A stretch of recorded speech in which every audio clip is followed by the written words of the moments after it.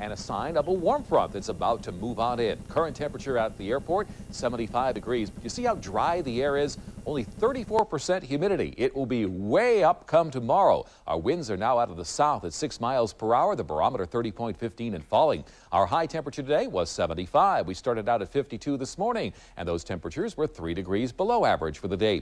The record high, boy, 1952. What a brutal year for heat that was. 91, the all-time record high set in 1952. Our record low of 38 occurred in the year 1944, and we still have a rainfall surplus of just under a half inch now for the year. We're going to go back to midnight last night. 3D weather vision cutting up through Texas, looking at these supercell thunderstorms producing baseball size hail and 80 mile per hour winds. A lot of damage across the western areas of Texas last night. Uh, none of it very serious, though, just minor damage.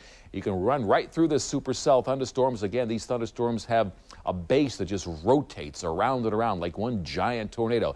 Unbelievably powerful thunderstorms. Back into the southeast we go. We saw some high, thin clouds across Kentucky and Tennessee. We were pretty much cloud free at about midnight last night. We'll run our time lapse along, let you see the big storm spiral out of Texas, get caught up in the westerlies, and blown down through Missouri and Illinois. We had the high, thin clouds rolling across northern Georgia.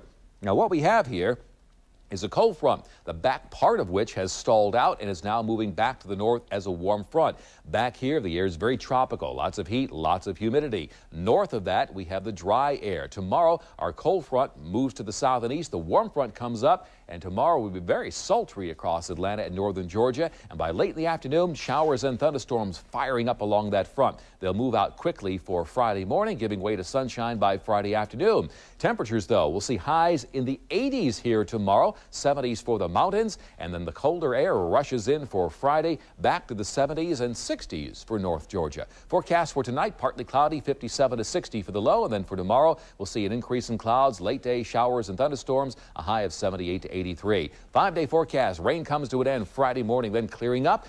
Good looking weekend. Sunshine Saturday, Sunday, and Monday, but much cooler. Highs 68 for Saturday, near 70 on Mother's Day, and 83 as we jump into summer by next Monday. So we get a little bit of rain tomorrow night, then smooth sailing. Great. Thanks. Mm -hmm.